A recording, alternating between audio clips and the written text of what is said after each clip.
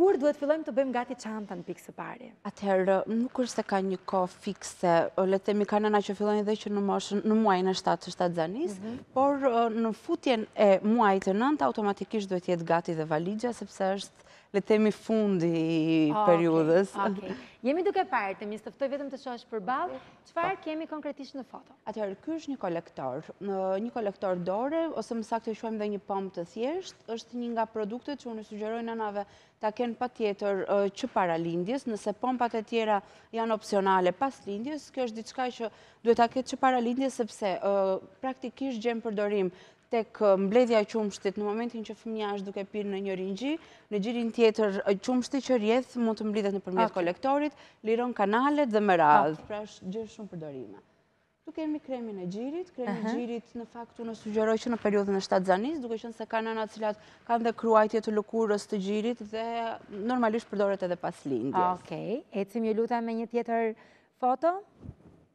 Këto janë perlat, pra disqet me perla, dhe kjo është dhe këto janë një produkt që vërtet i ndihmojnë shumë nënat e reja, sepse ne e quajmë atë terapi në të ngrohtë në të ftohtë, pra në çdo rast që ne na duhet të lirojmë gjirin ose të stimulojmë fluksin, i përdorim në të ngrohtë, pra bëjmë kompresa rreth gjirit duke i përdorur, duke i ngrohur më parë dhe më pas për shembull në rast bllokimesh, mastiti e me radhë, i bëjmë aplikimin, kompresat në të ftohtë dhe normalisht janë fantastike për këtë terapi.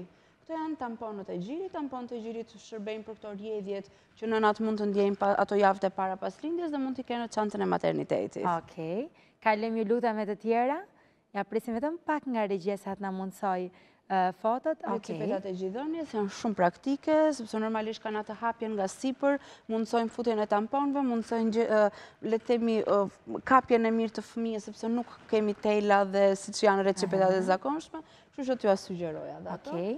Kjo është këmisha me hapje, mund të jetë me hapje nga sipër, mund të jetë me hapje anësore, me kopsa, në maternitet dhe më pas është e rëndësishme të jetë e tillë, sepse është shumë praktike për gjidhënien. Okej.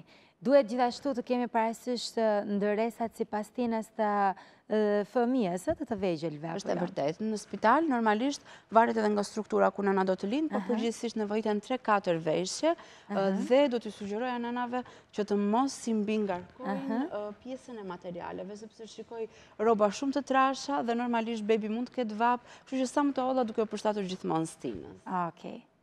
Këtu kemi? Atëherë, këtu kemi pjesën e produkteve të higjienës të bebit, që zakonisht më kryesoret janë një shampo, kremi i pelenës dhe locioni hidratues për trupin, duke qenë se bebi del nga një mjedis ujor dhe ka tendencën lëkura të thahet. Oke.